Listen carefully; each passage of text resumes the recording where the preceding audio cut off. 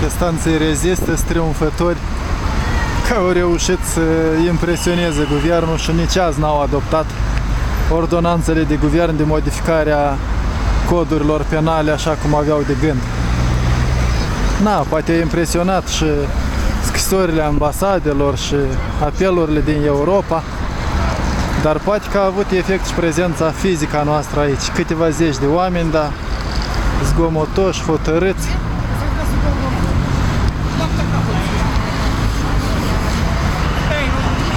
I-am făcut să bată în retragere. Acuși când o să iasă de la ședință, o să-i fluierăm o dată în plus. Unii au ieșit din țarc, s-au mutat în alta alveolă.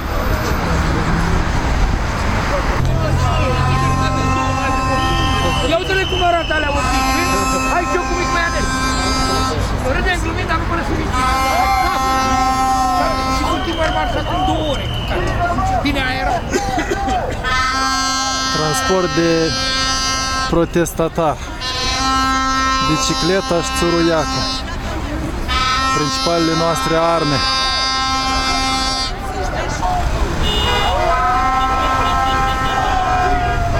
Unul își consideră misiunea îndeplinită și pleacă.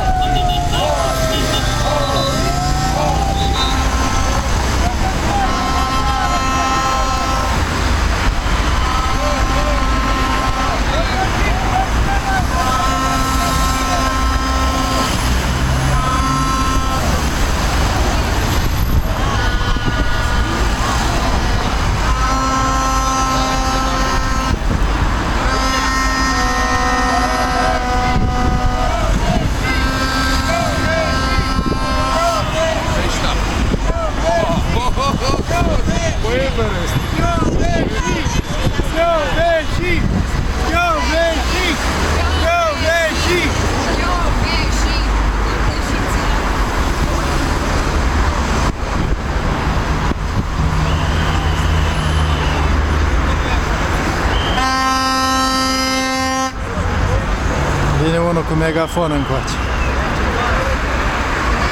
Sau încă unul, cum mai este cineva aici.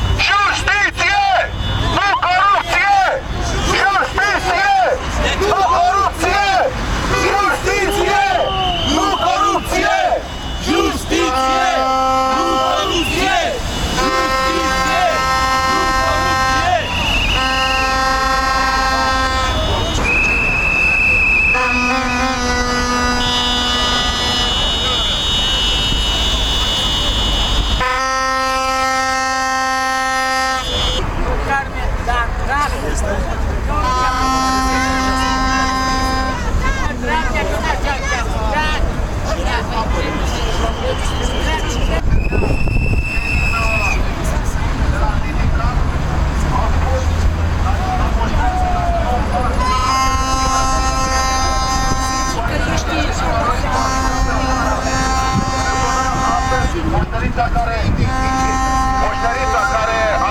părinții mei, a dat acest clar, bineînțeles ai mei secunda 2 l-a făcut praf. Dar mi-a spus părinților mei că cei care nu par acele ziare vor fi dați afară. A fost, a fost uh, amenințați, a fost amenințați. Da, contract. Au fost amenințați pe ăștia și de către sindicatul lor că dacă nu împart acele ziare vor fi dați afară. Vă dați seama ce fac? Acești criminali, acești criminali care au distrus țara 30 de ani.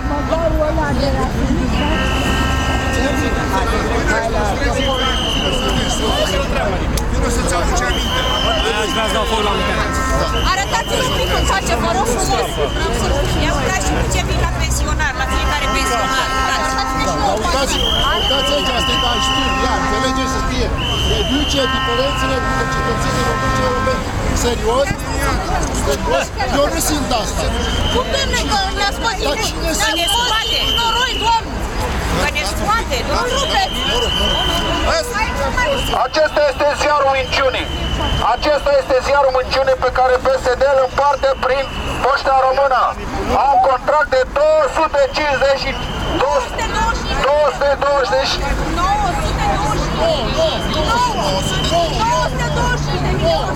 925 de euro. După ce s-a împrumutat 3 milioane de euro pe 30 de ani cu dobândă mare, mai au nerușinarea și tupeul să împartă aceste ziare. Deci refuzați să le primiți sau le faceți praf dacă le primiți. Dar a distrus țara și acum mai fac și propaganda cu minciunile lor. Unii pleacă cu simțul datoriei împlinite. Alții abia o să vină pe la 7-8. De fapt, acum ea e între 7 și 8. Oricum, sunt unii care stau aici până la 9 și întonează imnul, abia după aceea pleacă acasă. În fiecare seară îi găsiți sau negăsiți aici, în Piața Victoriei, la protestul rezist în fața Guvernului României.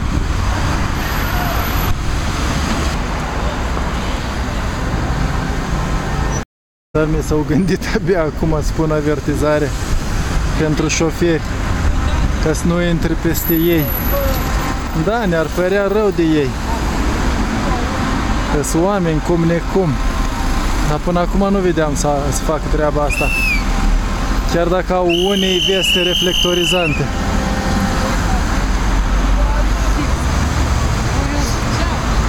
Azi e ziua 793 de protest, cineva le numără. Unii au venit cu copii,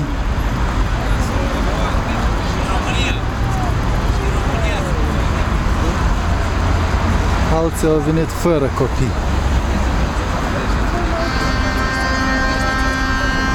Uneori mai vine cineva la protest cu cățelul. Azi nu văd pe nimeni cu animale de companie. Hai români, hai cu tot, să scăpăm țara de hoți! Hai români, hai cu tot, să scăpăm țara de hoți! Hai români, hai cu tot, să scăpăm țara de hoți! Hai români,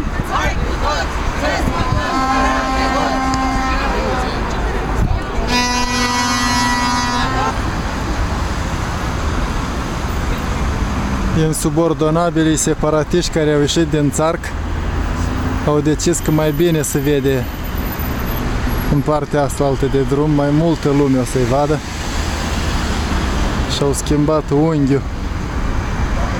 Într-adevăr, aici de pe calea sau cum se numește, Bulevardul Aviatorilor vine trafic mai mare. Inclusiv delegații oficiale care vin de la aeroport.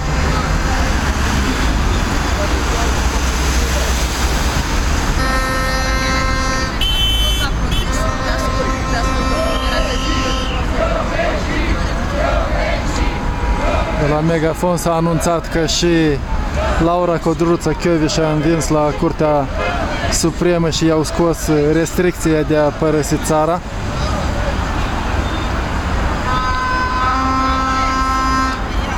Lumea se simte împlinită pe ziua de azi.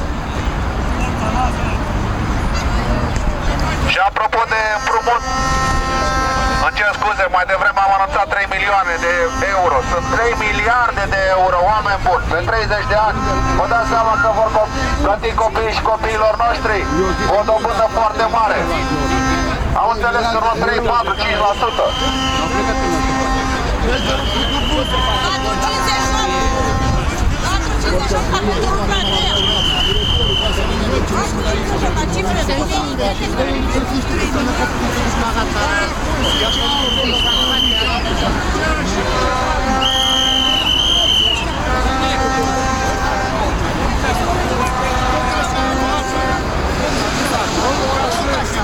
Unii polemizează cu jandarmi. Unii șoferi ne înjură, dar alții ne salută, ne susțin.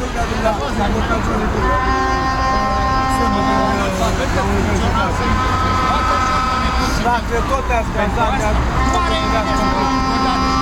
vorbesc toți odată. Cu ce, cu ce să